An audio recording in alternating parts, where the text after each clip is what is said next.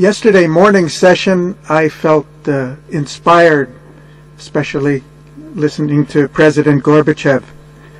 Today, listening to so many presentations, and especially uh, Federico's, I feel a hope, uh, a, a, real hope for the future. I also feel and sense among many of us uh, a certain frustration a frustration that arises out of the fact that we know there are things we can do. We know there are things that can be done to address these issues, practical things, but somehow it doesn't seem to be happening, not nearly fast enough and serious enough. We face today a multidimensional crisis. You're all familiar with it. It covers everything from ecology and employment to global security, human security.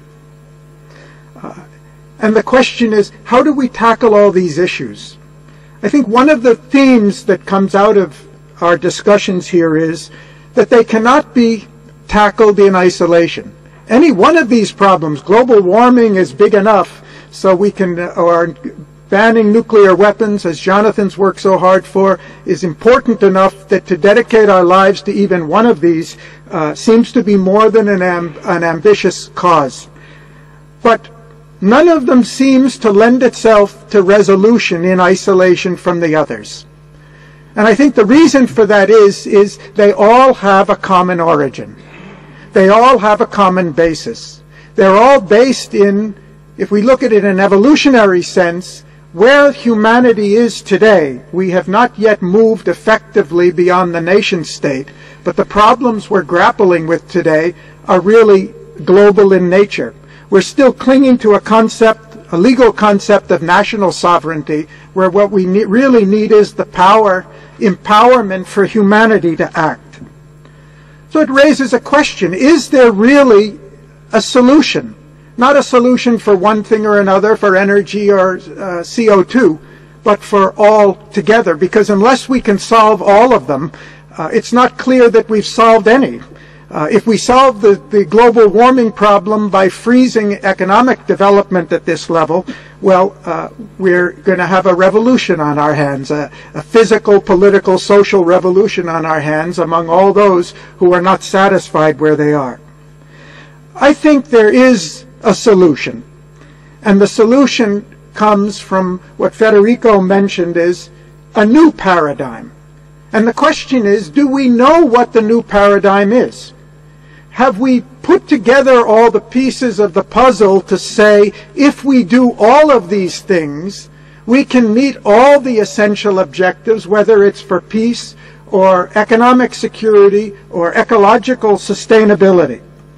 And I think that's what, there's still some thinking that needs to be done. Uh, we at the World Academy and in co- collaboration with Club of Rome and many other organizations that we're seeking to involve are trying to see whether all the pieces of the puzzle can be put together. When we talk about a, glo- a paradigm change, it's not enough that we have an answer. It's, it's also necessary that we're convinced there's a way to make that answer effective in practice. Well, if we look historically, there are times when radical change has taken place for one reason or another. It happened somewhat inadvertently 200 years ago after Thomas Malthus said that humanity reached a billion people, the earth is overcrowded, there'll never be enough food uh, for more, and we're in for a crisis. There was a revolution that took place, we call it the Industrial Revolution, which changed all that. And unfortunately, maybe we came to be convinced that technology uh, is the answer to all our problems. In the 1930s, we had a, a crisis, started in the U.S. and spread from there, of the Great Depression, where we realize technology alone is not the solution. We need another type of revolution. FDR introduced the New Deal. It was a social, a social political revolution to change the values and basis on which government acts. I think today we need an intellectual revolution and a revolution that really changes how we perceive the sources of power in the world. Intellectually, the paradigm has to be human-centered paradigm, not money-centered or growth-centered. How do we maximize the social welfare and human security of everybody on earth? And when we ask that question, I think the answers become pretty clear. There are answers to that. In doing that, the question is what will be the driving force? There's a, a, natural tendency that we look to government as the driving force for this because who's going to change things if it isn't government? Unfortunately, government still largely represents the nation state. Revolutions rarely take place because of governments. Revolutions take place when the people, when the society says that the powers that be and the structures that be are unacceptable and we are going to change them. And the question is, how do we release the energy of global society as the energy of people in this room and the inspiration of people in this room has been released in order to bring about hopefully what is a peaceful social evolution but I'm convinced that if it doesn't happen peacefully, it will happen anyway because the frustration levels and uh, lack of fulfillment will continue to grow until it does. How do we bring about that evolution? I don't think it's by lining up in front of the seats of power and trying to convince people who, as Federico also mentioned, are very, most of our governments are more plutocracy than democracy today, more representing certain powers and elites in society. I don't see the revolution is going to come from there, as important it is for us to try. So, is there a way that we collectively, global civil society, which is a force that's never existed before, as it exists today, especially after the internet, is there a way that we can reach out and release the social energies of global humanity to work for a solution that shows there is an answer?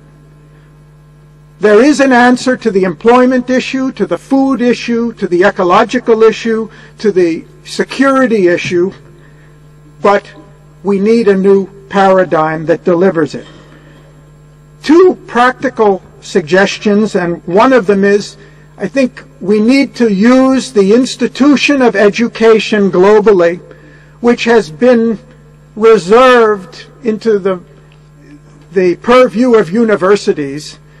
Now education is exploding and education is spilling out, breaking out of the universities. So what is being taught has a possibility, we have a possibility of changing the paradigm of thought in the world rather than expecting it to be done through the traditional academic disciplines or by them alone. And I think for that, global civil society and all the, all the organizations in this room have an important, a key role to play. We're calling it a World University Consortium, not a consortium of universities but a consortium of thinkers who have solutions and new perspectives that need to be delivered to the world through new media, through new mechanisms. And I think it's also necessary that once we have in place a mechanism for world public education, that we also have a way of getting responses from the global public. And today, the global public is disenfranchised, as the blacks were in my country uh, until very recently, as women were all over the world until very recently. Global humanity has no say.